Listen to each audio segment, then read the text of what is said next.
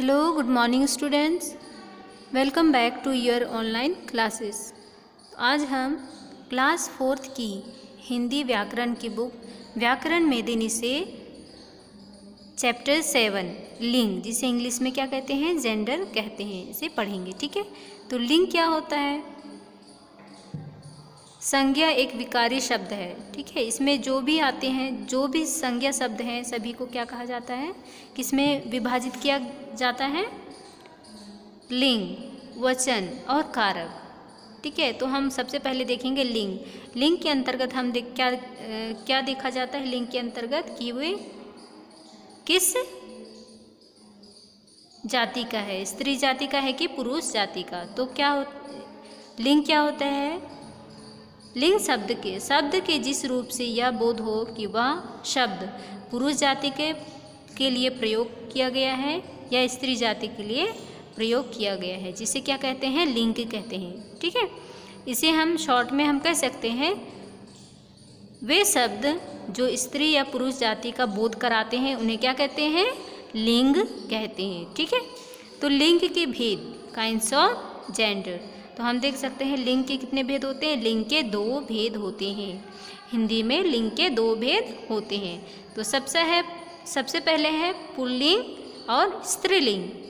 Pulling क्या होते हैं? पुल्लिंग पुरुष जाति का बोध कराने वाले शब्द क्या कहलाते हैं? पुल्लिंग और स्त्रीलिंग। स्त्रीलिंग, स्त्री जाति का बोध कराने वाले शब्द क्या कहलाते हैं? स्त्रीलिंग। ठीक है?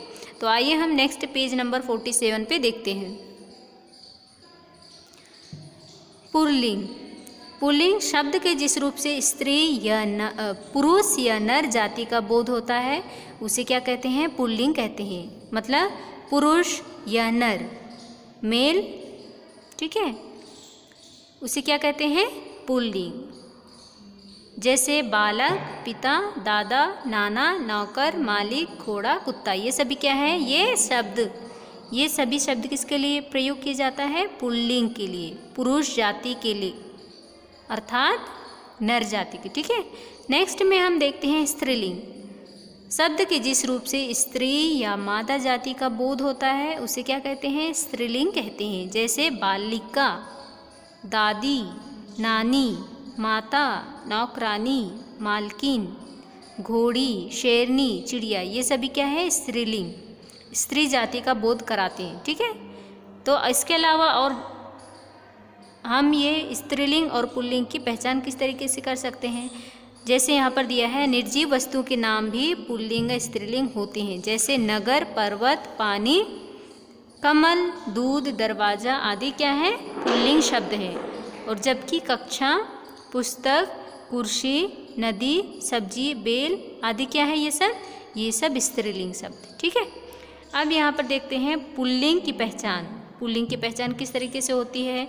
जिन शब्दों के अंत में आ हो आ हो, वे क्या कहलाते हैं? पुल्लिंग होते हैं, जैसे जंगल। यहाँ पर जंगल में क्या है? ला में कौन सी मात्रा जुड़ी छोटा आ, ठीक है? तो जैसे जंगल, पहाड़ मन ये क्या है ये? पुल्लिंग।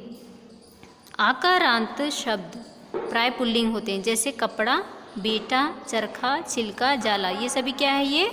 ये सभी पुरुष जाति का बोध कराते हैं। जैसे संस्कृत के दया, लता, गरिमा तथा हिंदी भाषा के मैना, बरखा आदि, ये क्या है ये? पुरुष जाति का बोध कराते हैं। नेक्स्ट हम देखते हैं जल और स्थल, भागों के नाम प्राय पुल्लिंग होते हैं। जैसे भारत, जितने भी देश हैं वो सब क्या है ये? देशों के नाम, ये सब पुल्लिंग में आते हैं। भारत, इंग्लैंड, यूरोप, आकाश, पहाड़, पाताल, ये सब क्या है? पुल्लिंग, ठीक है? नेक्स्ट है, धातु के नाम प्राय पुल्लिंग होते हैं। और जितने भी धातु हैं, सोना, चांदी, तांबा, पीतल, सीसा, पारा, ये सब क्या है ये सब? ये सब क्या है ये? पुल्लिंग, ठीक है? नेक्स्ट है, द्रव्य, द्रव पदार्थ, जैसे शराब, चाशनी, लस्सी आदि को छोड़कर, आदि को छोड़कर जितने भी द्रव्य हैं, जितने भी जो बहने की चीज़ें हैं, जैसे तेल, इत्र, शरबत, दूध, सिरका और पानी, ये सब क्या है? ये सब द्रव्य है, जिसे पुल्लिंग में प्रयोग, पुल्लिंग के रूप में प्रयोग होता है, ठीक है? नेक्स्ट है, महीनों और दिनों के नाम, प्राय पुल्लिंग होते हैं, जैसे अप्रैल, दिसंबर, चैत्र, आषाढ़, सोमवार आदि, ये सब क्या है ये? ये सब पुल्लिंग है। ग्रहों और तारों के नाम पृथ्वी को छोड़कर। पृथ्वी क्या है? स्त्रीलिंग में स्त्रीलिंग के रूप में प्रयोग किए जाते हैं। ठीक है? पृथ्वी शब्द को। तो जितने भी ग्रह हैं और तारे हैं, जैसे मंगल, शनि, चंद्र, सूर्य, तारा, ध्रुव, ये सब क्या है? पुल्लिंग। नेक्स्ट है अनाजों के नाम। अनाजों को ज्वार, मक्का, सरसों और अरहर, इन सभी को छोड़ के ये जितने भी अनाज हैं, उन्हें किसमें प्रयोग किया जाता है पुल्लिंग शब्द के रूप में, ठीक है? और ज्वार, मक्का, सरसों अरहर, ये स्त्रीलिंग है। जैसे चावल, गेहूँ, बाजरा, ये सब क्या है? पुल्लिंग होते हैं। पेड़ों के नाम प्राय पुल्लिंग होते हैं। और जितने भी पेड़ों के नाम है, क्या है ये? पुल्लिंग, ओके? बहुमूल्य पदार्थों के नाम, मणि आदि को छोड़कर बहु कौन कौन से हैं? जो पुल्लिंग में प्रयोग होते हैं, हीरा, पन्ना पुखराज जवाहर फिरोजा मोती माणिक्य। ठीक है? ये सब क्या है? पुल्लिंग के रूप में प्रयोग होते हैं। नेक्स्ट हम देखते हैं स्त्रीलिंग शब्दों की पहचान। स्त्रीलिंग शब्द, इकारांत शब्द प्राय क्या होते हैं? स्त्रीलिंग होते हैं। जैसे नदी, रोटी, टोपी, पूरी, कचौरी, जलेबी, मछली, खटाई, स्याही। ये सब क्या है ये? ये सब स्त्रीलिंग के रूप में प्रयोग होते हैं। नेक्स्ट है, भाषाओं, बोलियों और लिपियों के नाम स्त्रीलिंग होते हैं। जैसे हिंदी, मराठी, अवधि, उड़िया, ब्रज, सिंधी, अंग्रेज़ी, फारसी, ये सब क्या है ये? स्त्रीलिंग। और जितने भी लिपि हैं, देवनागरी, गुरुमुखी, रोमन, ये सब, ठीक है? नदियों के नाम प्राय स्त्रीलिंग होते हैं। जैसे गंगा, यमुना, सरस्वती, कृष्णा, कावेरी, गोदावरी सब, ठीक है? नेक्स्ट है, टा, वट, वत और हट के समाप्त होने वाली भाववाचक संज्ञा स्त्रीलिंग होती है। जैसे लास्ट में क्या आता है? लास्ट में टा आता है, वट आता है, पट आता है, वट, हट। ये सभी लास्ट में अगर ये टा, वट, वत और हट आता है तो ये क्या है? ये स्त्रीलिंग शब्द है, ठीक है? नेक्स्ट हम देखते हैं झीलों के नाम। प्राय स्त्रीलिंग होते हैं, जैसे सांभर, पुष्कर मान सरोवर मान सरोवर झील है ये, स्त्रीलिंग के रूप में प्रयोग की जाते हैं। तिथियों और नक्षत्रों के नाम प्राय स्त्रीलिंग होते हैं। जैसे तिथि है ना दिनांक प्रथमा, द्वितीय द्वितीय चतुर्थी ये सभी क्या है? ये क्या है? स्त्रीलिंग के रूप में प्रयोग होती हैं। ठीक है? नेक्स्ट है पुल्लिंग शब्दों से स्त्रीलिंग में परिवर्तन करने के कुछ नियम यहाँ पर बताए गए हैं। मतलब लिंग परिवर्तन किस तरीके से होते हैं?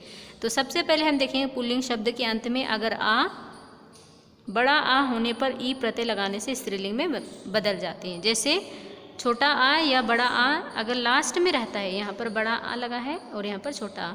ये, इनके लास्ट में किसमें बदल जाता है ये? बड़ी ई में, जैसे लड़का, लड़की, नाना, नानी, नर, नारी, मामा, मामी, पुत्र, पुत्री, दास, दासी, घोड़ा, घोड़ी, गधा, गधी, बकरा, बकरी, रस्सा, रस्सी। ठीक है? नेक्स्ट अकारांत पुल्लिंग शब्दों के अंत में आ को बड़ा आ करके स्त्रीलिंग बनाया जाता है। जैसे यहाँ पर, छात्र का क्या आएगा? छात्रा, आचार्य आचार्य, शिष्य शिष्य, वृद्ध, वृद्धा। महोदय, महोदया, प्रिय प्रिय, गज, गजा, कृष्ण कृष्ण, ठीक है?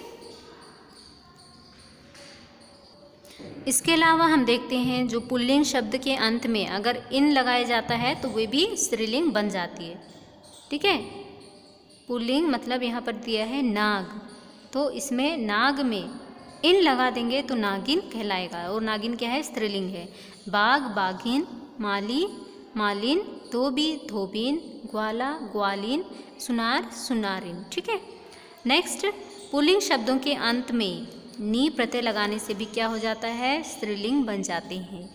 मतलब नी लास्ट में क्या आना चाहिए? नी, चोर, चोरनी, मोर, मोरनी, शेर, शेरनी, ऊँट, ऊंटनी, मास्टर, मास्टरनी, जाट, जाटनी। नेक्स्ट पुलिंग शब्दों में आनी प्रत्यय लगाने से क्या जाते हैं? ये शब्द स्त्रीलिंग में बदल जाते हैं, जैसे सीठ, सेठानी, जेठ, जेठानी, देवर, देवरानी, नौकर, नौकरानी, चौधरी, चौधरानी, मेहतर, मेहतरानी, ठीक नेक्स्ट पुल्लिंग शब्द के अंत में आइन जोड़कर भी स्त्रीलिंग बनाए जाते हैं, जैसे पंडित, पंडिताइन, चौबा, चौबाइन, लाला, ललाइन, ठाकुर, ठकुराइन। पुलिंग शब्द के अंत में अक के स्थान पर इका प्रत्यय लगाने से वे किसमें बदल जाते हैं? स्त्रीलिंग शब्द में बदल जाते हैं, ठीक है? तो यहाँ पर गायक गायक का क्या आएगा? गायिका, लेखक, लेखिका, सेवक, सेविका, नायक, नायिका, बालक, बालिका, अध्यापक, अध्यापिका, ठीक है?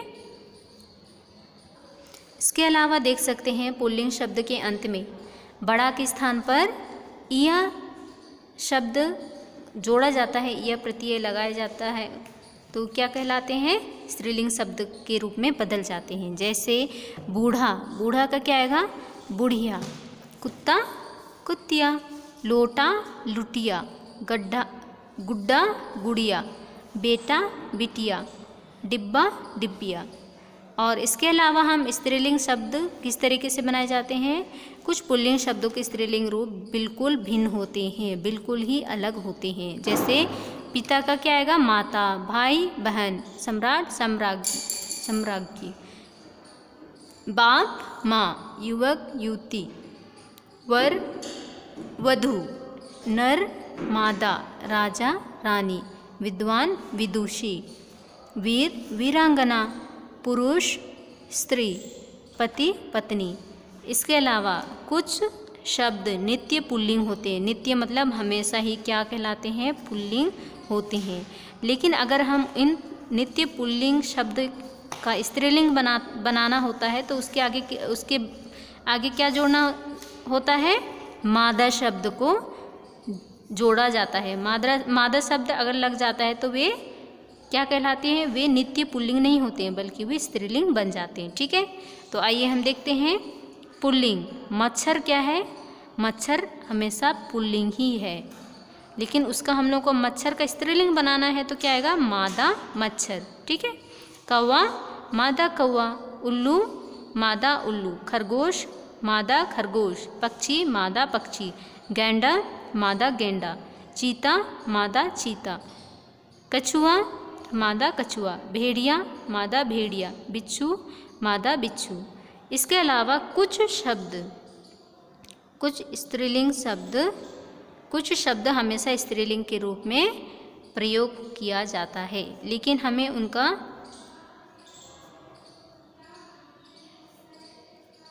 स्त्रीलिंग बनाना होता है तो क्या कहते हैं? हमें उनका स्त्रीलिंग, ये शब्द क्या है? स्त्रीलिंग, पुल्लिंग के रूप में दिया हुआ है। स्त्रीलिंग के रूप में दिया है, लेकिन हमें उनका स्त्रीलिंग बनाना होता है तो उनके आगे क्या पुल्लिंग बनाना होता है तो क्या जोड़ दिया जाता है? नर शब्द। नर मतलब पुरुष जाति का बोध कराने, ठीक है? जैसे मछली मछली क्या है? पुल्लिंग है। ठीक है? तो इसका स्त्रीलिंग क्या आएगा? नर, ये क्या है? पुल्लिंग। पुल्लिंग है और ये स्त्रीलिंग। मक्खी तो मक्खी का पुल्लिंग क्या आएगा? नर। नर स्त्रीलिंग, ठीक है? तो मक्खी का नर मक्खी, तितली, नर तितली, कोयल, नर कोयल, छिपकली, नर छिपकली, चींटी, नर चींटी, गिलहरी, नर गिलहरी, चिड़िया, नर चिड़िया, चील, नर चील, मकड़ी, नर मकड़ी। तो बच्चों, यहाँ पर क्या कन्फ्यूज़ नहीं होना है। यहाँ पर जो दिया है ना, वो स्त्रीलिंग में दिया है, ठीक है? यहाँ पर जो दिया है ये हमेशा किसमें प्रयोग में होते, ये शब्द हमेशा किसमें होते हैं? स्त्रीलिंग में होते हैं। लेकिन हमें उनका पुल्लिंग बनाना होता है तो उनमें नर शब्द को जोड़ दिया जाता है। नर शब्द को जोड़ने से क्या बन जाते हैं? वे पुल्लिंग बन जाते हैं, ठीक है? तो इस चैप्टर के सभी, ये चैप्टर आपका फिनिश हो गया है। अब इस चैप्टर के एक्सरसाइज आपके व्हाट्सएप ग्रुप में सेंड किया जाएगा, जिसे देखकर आपको अपने बुक को फिल करना है ओके थैंक यू